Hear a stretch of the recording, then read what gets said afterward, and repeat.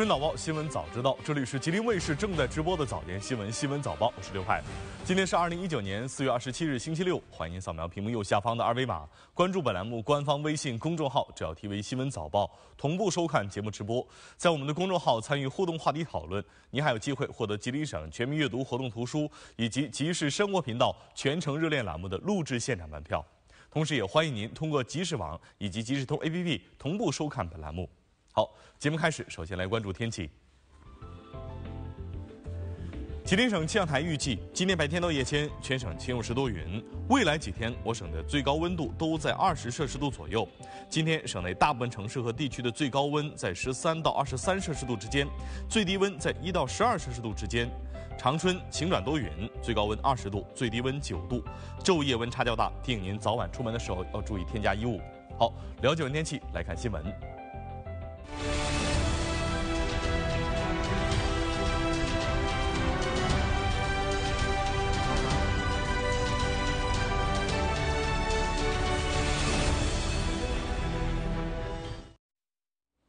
红旗村位于延边州安图县万宝镇，毗邻通往长白山的明长公路，守着得天独厚的区位优势，加上中国朝鲜族第一村的金字招牌，红旗村大力发展民俗旅游，一时风光无限。然而，2010年的一场洪水让这里的旅游设施受到重创。洪水过后，红旗村如何重振旗鼓，步入新时代？红旗村又有哪些新变化？继续来看本台记者的蹲点报道。迎着袅袅炊烟，红旗村的一天到来的特别早。村口这家江南饭店营业十年了。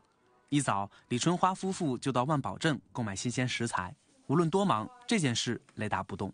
所有的菜还是我自己采购，嗯，还是最有信心。别的不说，咱们得对客人负责任呐。二零一零年洪水过后，受灾的红旗村一片狼藉，李春花却做了一个出人意料的决定。从七十公里以外的二道白河镇来到红旗村开店。那年发大水以后吧，就是各个饭店都走人的多，我心里有底儿，中国朝鲜族第一村嘛，所以肯定，呃，能建好，我就留下了。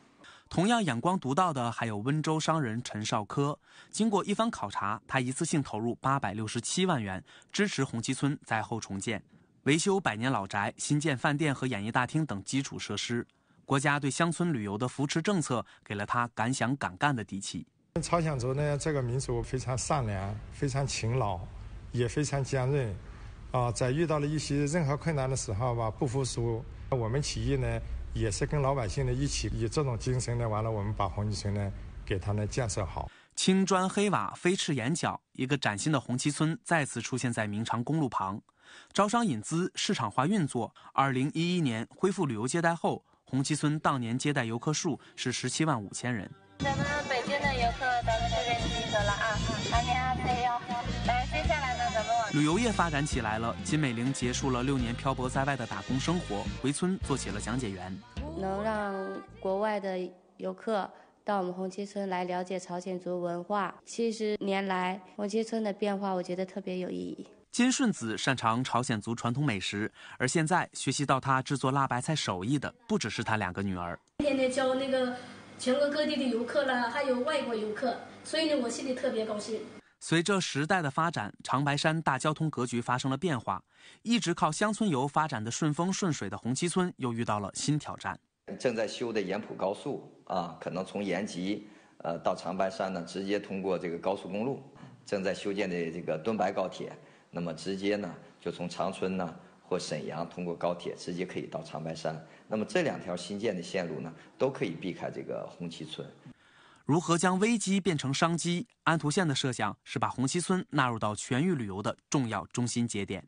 从长白山一直到红旗村，这中间还有三个四 A 级景区，我们也正在提升，串点成线啊，把游客让他差异化的体验一直吸引到红旗村来。除了旅游业，红旗村抓住国家扶贫开发和东西部协作的机遇，发展稻田湿地公园、采摘基地等特色产业项目。二零一八年，村人均纯收入超过一万四千元。党中央的新边富民政策以及省州诸多对少数民族地区的优惠政策，在红旗村发展中起到了重要的作用。尤其这几年厕所革命之后，家家都有室内卫生间，能在家洗热水澡，客人来住更方便了。第一次就是亲身接触这种炕，而且今天我也看到了我们房东阿姨烧炕，然后包括这个像这两个铁锅，也是我从来都没有看到过的，所以非常的新奇。离开安图十年的金桂花，每年都会回来跟村里人聊聊，看看村里的变化。今天，她也换上了漂亮的民族服装，带着村里的阿嬷们玩起了击鼓传花的游戏。我敲鼓完了呢，你们再传红绳子，传到哪儿谁就开始讲对这个红旗村中国朝鲜族第一村这么多年的变化，好不好？好。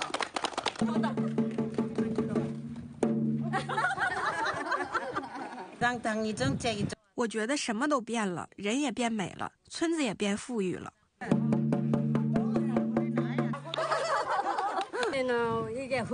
我以前从来没想过，我家还有来自柬埔寨、巴基斯坦这些外国客人来住。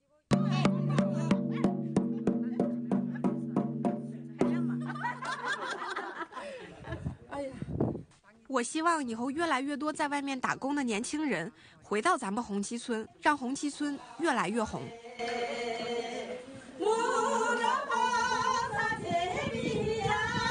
俗话说：“一方水土养育一方人。”绿水青山的映衬下，红旗村独具朝鲜族特色的民居看起来古色古香。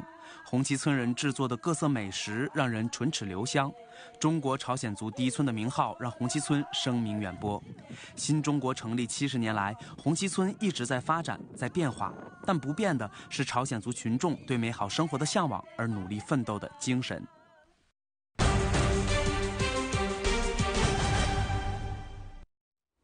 最高人民法院二十五日发布《人民陪审员法司法解释及人民陪审员培训考核奖惩工作办法》，对人民陪审员参加审判活动作出具体规定，将于五月一日起施行。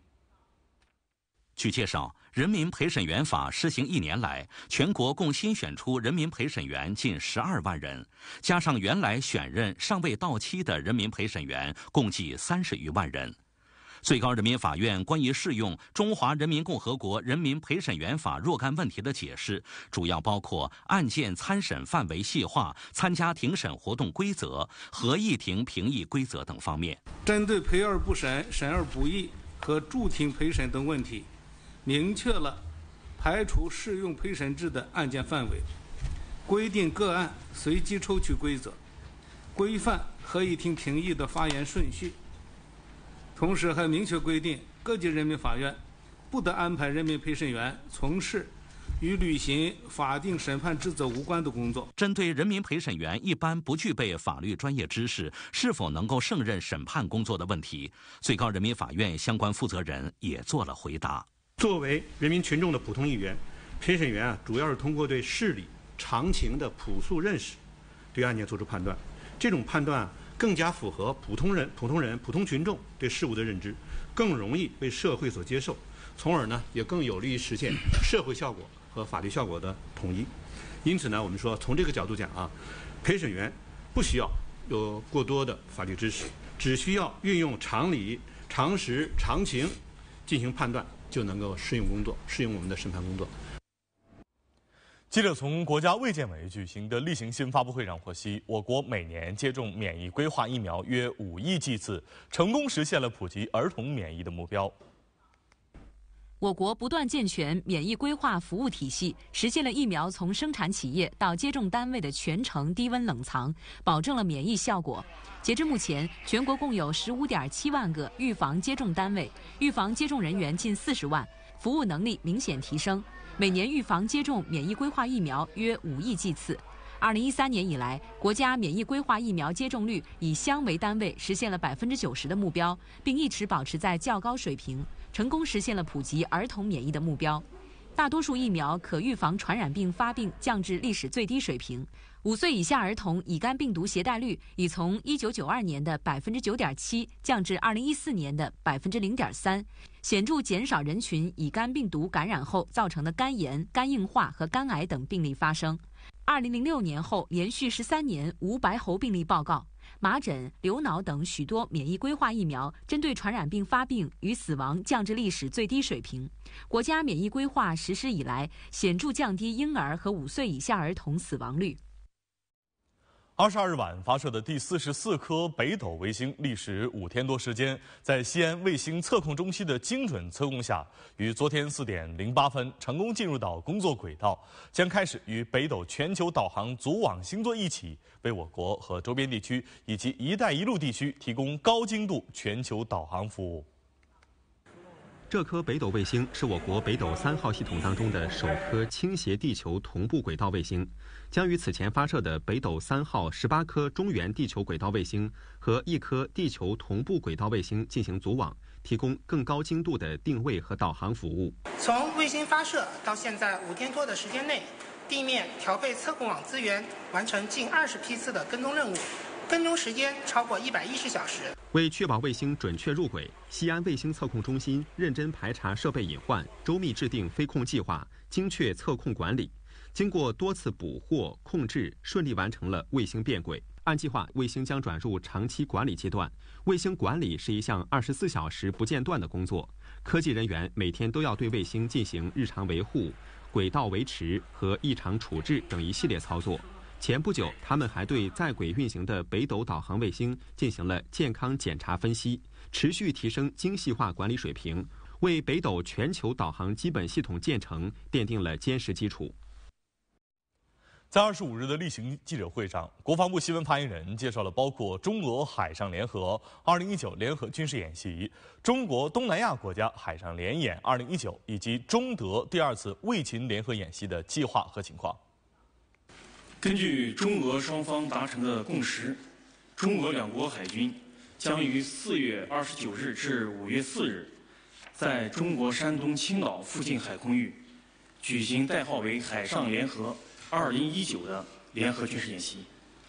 这次海上联演的课题是海上联合防卫行动，中俄双方将出动潜艇两艘、水面舰艇十三艘、固定翼飞机。七架直升机四架和陆战队员八十人参演。演习分为联合行动筹划准备、海上联合行动实施、总结闭幕三个阶段。此外，发言人还就四月二十四号到二十六号在青岛及其东南海空域举行的中国东南亚国家海上联演二零一九以及中德第二次卫勤实兵联合演习的计划和情况进行了介绍。让我们来看一组新闻现场。前几天，在山东新泰，一名十三岁的女孩因为车祸致头部严重受伤，急需输血。紧急情况下，医护人员们轮流用身体温暖经过冷藏处理的血液。这是当时手术室内的监控视频。医护人员一方面为受伤女孩迅速止血，另一方面及时输液，并准备为女孩输血。但因事发突然，送来的血液都是经过冷藏处理的，温度只有四摄氏度左右，需要加热输血才能避免女孩身体产生不适。从画面中我们可以看到，就在这时，一名男医生拿起一个血袋放在腋下，用自己的体温温暖经过冷藏处理的血液。因为血啊刚拿出来比较凉，嗯，输血输凉血可能出现输血反应。然后我们科的毛大夫啊，就给他呃是体温温暖一下，呃，这样输血啊可能比较舒服。嗯，然后因为急诊呃毛大夫需要急诊上台，所以把血给我了，然后我就自然接过来给他温暖一下。当时也没有特殊考虑，我感觉是一个很自然的行为。由于抢救及时，女孩病情有所好转，目前还在住院治疗。二十四日的傍晚，河北承德丰宁县大滩镇的一名临产孕妇准备经高速公路转去六十五公里以外的丰宁县城医院就医，但是由于当天突然降雪，高速公路临时封闭。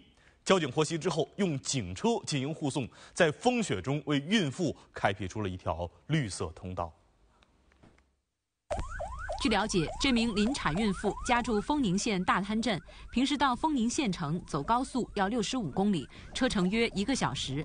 但孕妇家属赶到高速路口后才得知，当时这段高速已因降雪临时封闭。我走不了，前面全是雪，明白了吗？你们孕妇上我们车，然后去两个家属跟着我们走，我们送你去医院。随后，这名孕妇和一名陪同家属转移到警车上，由民警直接护送通过高速公路。咱们一台制式警车 GH 二零二七警载着一名孕妇来到咱们丰宁收费站下道，给我们留出一条绿色通道来，好吧？在车上，民警提前与前方的丰宁站口联系，为警车申请预留绿色通道，并帮助联系医院幺二零，在高速收费站口做好准备。没事，甭着急啊，咱们一会儿在永山医院幺二零已经在那个丰宁的收费站等着你们了，行吗？一会儿就安心休息就行了。有啥情况不是的话，随时告诉我们，我们随时跟幺二零联系，好吧？在警车护送下，当晚六点左右，孕妇及家属顺利到达高速丰宁收费站口，转移到提前等在那里的幺二零救护车上，为孕妇顺利生产节省了时间。没事，没事，没事，快走吧，快去医院吧，快。二十四日，在浙江省舟山市普陀山景区，二十七名游客私自翻越安全护栏，到海边的一块大礁石上拍照留念。谁知海水涨潮，二十七名游客被困在了礁石上。当地民警接警之后，立即前往救援。当天上午，二十七名游客私自翻越安全围栏，到海边的一块礁石上拍照。上午十点半，海水涨潮后，返回岸上的通道被淹，游客们等了半个小时还不见潮落，于是报警求助。被海水淹没的通道大约有十米，而且风浪挺大的，所以我们救援队无法过去。他们还没有吃午饭，我们就把面包和矿泉水等物资包起来扔给他们。下午两点半，潮水回落，救援人员用木板和绳子架起了一条通道，将这二十七名游客带回岸边。此时，他们已经被困了四个多小时。记者从普陀山景区方面了解到，景区危险地带都设有警示牌或者围栏，防止游客进入，但常有人无视警示进入危险地带。景区方表示，他们将会加强管理，避免类似事件的再次发生。再来关注儿童安全。今日在重庆的一名三岁的男童，趁着父亲做午饭的时候啊，竟然带着两岁的妹妹偷偷出门去找妈妈，结果两个孩子迷路了。当天中午十二点多，公交车驾驶员罗正龙驾车行驶途中，发现有两名幼儿走在立交桥下的人行道上，罗正龙赶紧靠边停车。见孩子身边没有大人，罗正龙就把他俩带上公交车，想办法联系他们的家人。上了车过后啊，他第一个不晓得妈老汉儿的电话，第二个不晓得打的座，妈老汉儿打的上班，他也不清楚。当时公交车上还有二十多名乘客，大家有的帮忙照看孩子，有的拨打幺幺零报警。到了下一处公交车站，罗正龙把两个孩子移交给了执勤民警。当天下午三点多，民警找到了孩子的父亲。给全市发了协查通报过后啊，然后刚好他们父亲啊也报了警，然后在那个九龙园位置。随后，这两个走失的孩子被家人接回家中。真是有惊无险，多亏好心人的接力护送，两个孩子才能够平安回家。在安徽滁州明光市呢，近日也发生了类似的一幕：一名四岁的男童跟随妈妈在超市买东西的时候，和妈妈走散了。热心的市民报警求助。民警赶到现场时，男童哭泣不止，在周围寻找后也没有发现孩子的家人。由于孩子太小，一时无法知道家庭具体情况，于是民警决定先将男童带回派出所安置。好，叔带你找妈妈哈，不怕不怕，没事。你不要急哈，叔叔一会儿带你找妈妈。到派出所后，民警耐心安抚孩子的情绪，并与他交流。这边有个鸡蛋，给你个鸡蛋。你报给妈妈手机号码是。多少呀？不知道。经过询问，男童只能说出妈妈名叫张某某。民警通过公安系统查询，发现与张某某同名的人有很多。民警就带着男童在安徽省常住人口信息管理系统中辨认身份证照片，很快确认了男孩母亲的身份。随后，民警联系到了张某某，电话那头的他正焦急万分地寻找孩子。十几分钟后，男童母亲赶到派出所。你是那个家长是吧？对。那这怎么回事那个幼儿园小孩就没了。好，谢谢谢谢，非常感谢。原来当天晚上，男童母亲带着两个孩子到超市买东西，一不留神，这名男童跑到超市外面和他走散。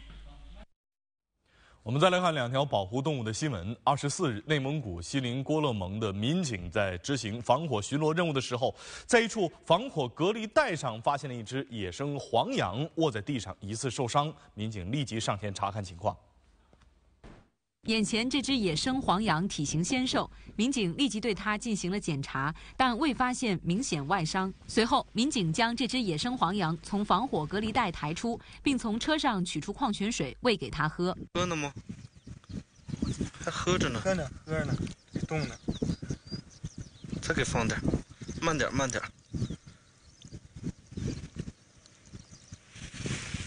可辣这。待这只野生黄羊恢复体力后，民警将其放归了草原。据了解，民警发现的这只野生黄羊学名叫蒙古园羚，是我国二级保护动物。过去受各种因素影响，野生黄羊种群数量大幅减少。近年来，随着内蒙古当地对野生动物生存环境的保护力度加大，野生黄羊种群数量在内蒙古境内逐年增加。从去年十一月份至今，当地还多次拍摄到了上千只野生黄羊迁徙觅食的画面。辽东湾的斑海豹是世界斑海豹种群的重要组成部分，也是唯一在我国海域繁殖的鳍类、鳍足类的动物。那整个种群呢，只有大概两千只左右。二十四日，有四只走失的幼年斑海豹经过救助，在辽宁盘锦市辽河入海口放归大海。在斑海豹保护站的笼舍内，四只斑海豹不断左顾右看，好像知道了自己就要回归大海，回到母亲的怀抱，显得很是兴奋。今年的三月四日至二十七日，我们共救助了七只斑海豹，七只其中三只斑海豹由于胎毛已经退了，具备独立生存能力，呃，我们直接把它放回大海。这是四四头斑海豹呢，由于胎毛没有退。呃，不具备自主进食能力，一个是脱离母体啊，被其他动物伤害；再一个有可能是，呃，长期不能进食，呃，引起疾病，呃，或者死亡。由于这四只和母亲走失的斑海豹都是幼崽，出生不过几天，考虑到小家伙的安全，保护站工作人员将它们送到了辽宁省海洋水产科学研究院，训练它们的自主摄食能力。通过一个月的训练，四只斑海豹学会了自主摄食，体重不断增加，已经满足了野外放生的基本条件。为了能够随时监控这四只斑海豹的状态，辽宁省海洋水产科学研究院的专家还给这四只斑海豹佩戴了追踪信标。根据辽宁省海洋水产科学研究院最新的数据显示，辽东湾斑海豹的种群数量在两千只左右，它们每年冬季来到辽东湾产崽繁殖。五月份就会带着新出生的幼年斑海豹回到北极圈附近。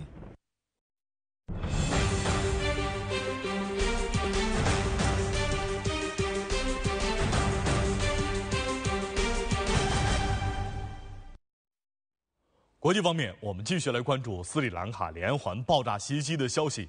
当地时间二十五日晚，斯里兰卡卫生部发表声明，将二十一日连环爆炸袭击的死亡人数修正为二百五十人至二百五十三人之间。而此前一天，斯里兰卡公布的死亡人数是三百五十九人。对此，斯里兰卡卫生部解释说，确认的死亡人数大幅度减少，是因为剧烈的爆炸导致部分死者遗体损毁严重，这给辨认工作造成困难，有部分遗体被重复统计。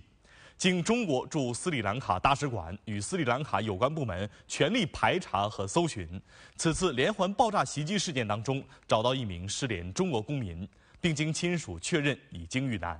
到目前为止，已有两名中国公民确定遇难。另有四名中国公民疑似死亡，使馆已通知家属和单位赴科伦坡最终确认。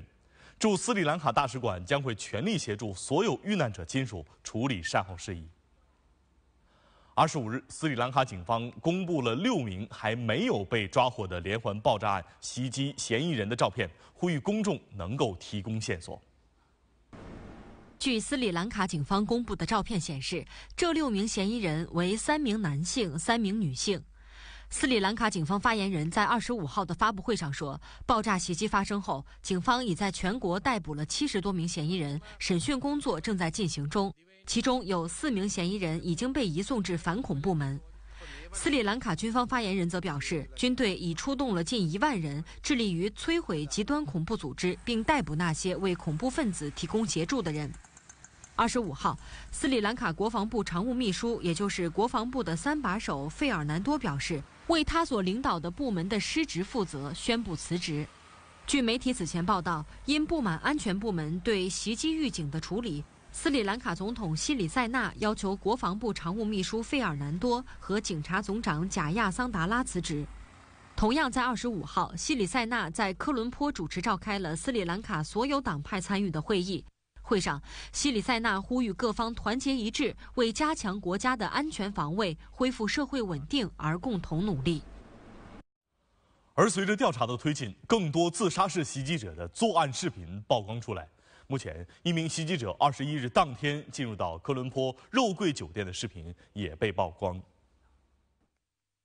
酒店监控录像显示，事发当天上午约九点十二分，这名男子进入肉桂大酒店内一餐厅，随后一直在一张空桌子前徘徊。报道称，这名男子随后引爆了炸弹。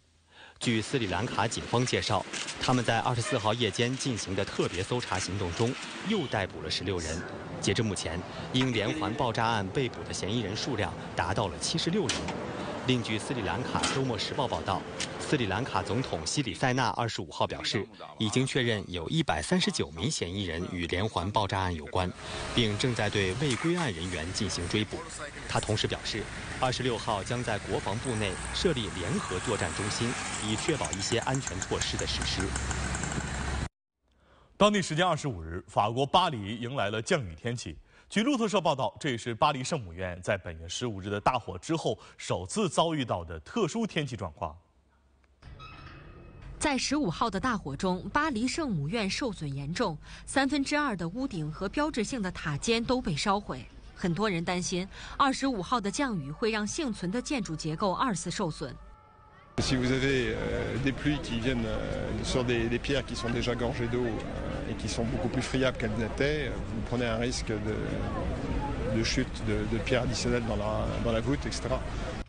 为了避免雨水对受损建筑造成进一步的伤害，当地时间二十三号，巴黎圣母院的顶部就已经被盖上了一层防水布，这让不少前来探望的巴黎市民和游客感到安心。I heard on the news that when the rain comes. the the the walls are uh, filling with water and they can implode it yeah and that's that's that give more damage so they're protected from from from the rain it's a huge part of france's heritage and it's a sacred space and so protecting it is is good restoring it is good 本月十五号发生在巴黎圣母院的这场大火，是近年来法国文物古迹遭遇的最严重火灾。目前，对巴黎圣母院的后续保护、重建和修复工作正在筹划和进行中。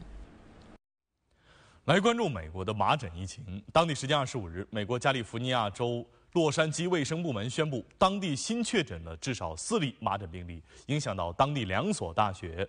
这两所大学超过两百名学生和工作人员需要进行隔离观察。据报道，受到疫情影响的两所大学分别是加利福尼亚大学洛杉矶分校和加州州立大学洛杉矶分校。其中，加利福尼亚大学洛杉矶分校目前有七十九人需要隔离，加州州立大学洛杉矶分校的隔离人数为一百五十六人。目前，加州已确认三十八例感染病例。而在疫情严重的纽约州，二十四号，纽约卫生部门称，十四号到二十号这一周，当地就新增了六十一例麻疹患者。此外，罗克兰县二十五号第二次发布紧急状态，呼吁当地居民接种麻疹疫苗。美国疾病控制和预防中心表示，今年截至二十四号，美国的麻疹病例已经达到六百九十五例，打破了二零零零年美国宣布消灭麻疹后的麻疹病例最高纪录。病例主要集中在纽约州和华盛顿州，而疫苗接种不足是导致麻疹卷土重来的主要原因。二十五日，日本东京地方法院批准了日产汽车公司前董事长卡洛斯·戈恩的保释申请。保释金为五亿日元，约合三千万元人民币。当地时间二十五号晚上十点二十二分，戈恩在律师的陪同下离开东京拘留所。接下来，戈恩要备战针对他的一系列刑事诉讼。目前，东京地方法院还没有确定开庭审理日期。法院说，保释期间，戈恩的行动和通信，包括与他妻子的联系，都将受到严格的监视和限制，以防他出逃或销毁证据。现年六十五岁的戈恩有黎巴嫩、法国、巴西三国国籍。去年十一月，因为涉嫌在执掌日产期间挪用公款，把个人投资损失转嫁给企业，以及谎报个人收入，而在东京首次被捕。受羁押一百零八天后，他上个月获准保释，当时交纳了保释金十亿日元。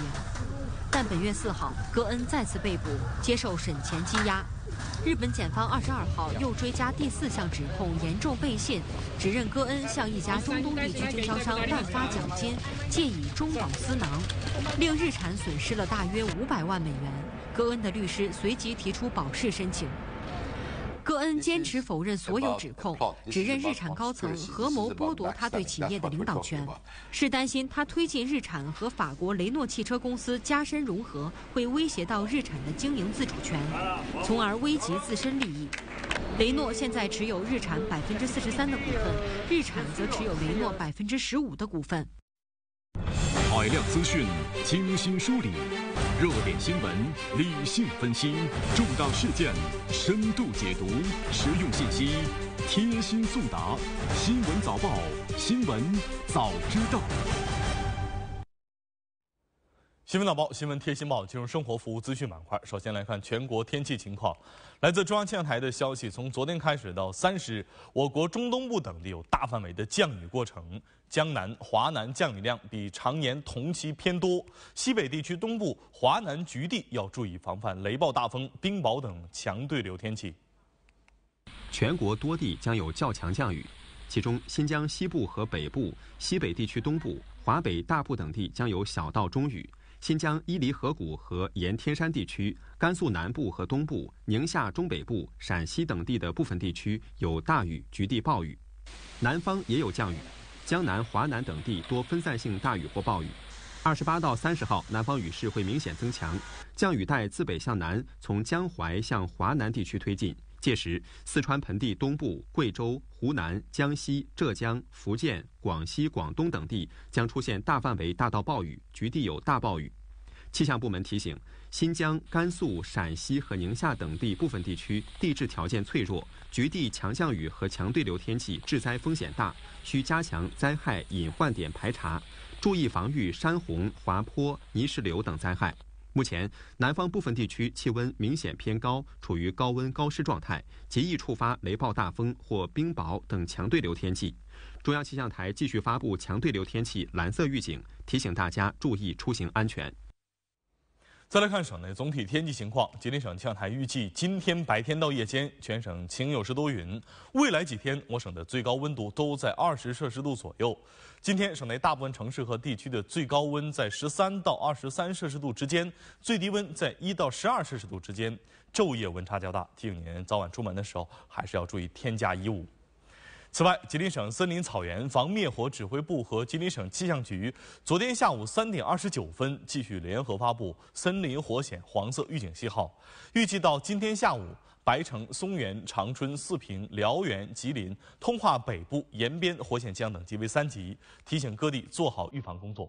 好，省内各地的具体天气情况，我们来看天气预报。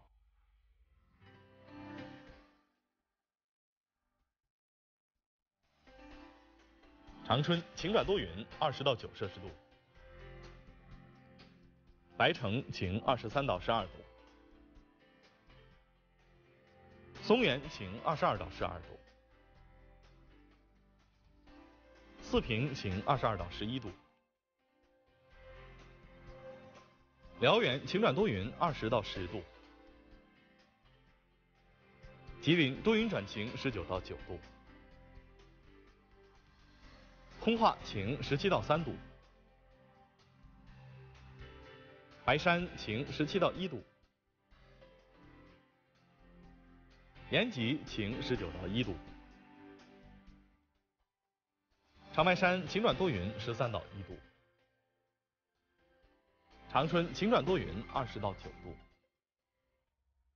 好，今天节目就是这样，欢迎您扫描屏幕右下方的二维码。